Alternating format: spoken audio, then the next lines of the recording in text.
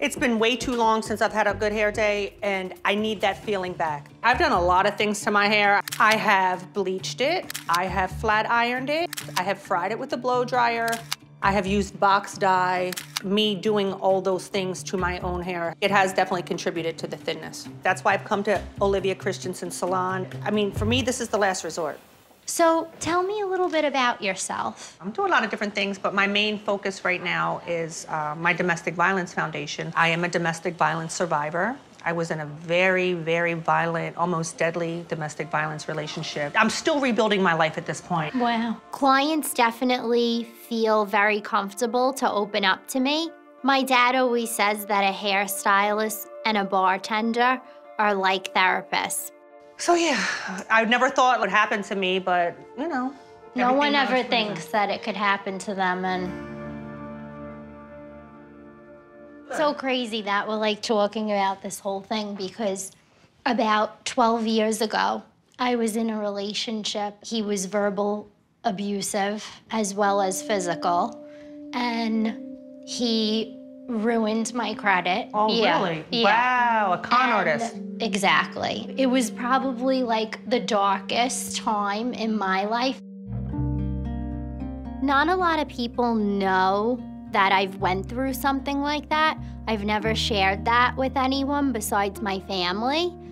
I trusted someone and they betrayed me. So I definitely do have trust issues. I'm sure you went through hell and Through what I went through. I want to have that strong Chrissy back that I was before I got into the relationship You want to bring that confidence back that you that had. I lost. So the hair extensions is just part of me healing as well, is getting me back together. That's amazing. I'm just so excited about having these extensions. When people think of extensions, they think of glitz and glamour, celebrities, but it's not just that. For people like Chrissy, it's something that can make her feel like her best self. Me getting my hair done, it's helping me feel more empowered. I want some fluffy, fabulous Beyonce hair, you know, just glamour hair. Looks beautiful. I like it. Are you ready? I'm super ready. Based on what I've seen with other clients, I'm hoping I look just as good. This is my favorite part. Keep your eyes closed. My goal has always been to make each individual client feel and look beautiful. I'm just hoping that she loves her new look just as much as I do. Okay, you can turn around. Okay, open.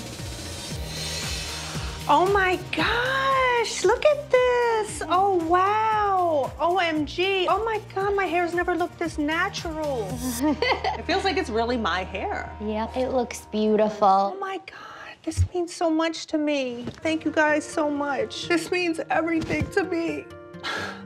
This just finishes off everything I've been wanting to do with starting my life over, and you made it happen. Oh, I'm gonna go. Oh my God. Mess my makeup up. This is why I do what I do because I see Chrissy in the mirror just loving herself. You look stunning. I'm definitely going out tonight. I brought a dress too. I'm gonna just go change into my new dress because I, gotta- I definitely gotta go show off tonight. When Chrissy walked in for the first time, I saw a woman that was hiding her true self. And now, the end result, she's a lot more confident with herself. Yesterday is no comparison to how I feel today. I feel super beautiful. I feel extra glamorous. It's like I'm a whole new person. You look amazing. This whole package is the real me that I'm ready to show the world. Thank you guys. You're welcome. Thanks, girl.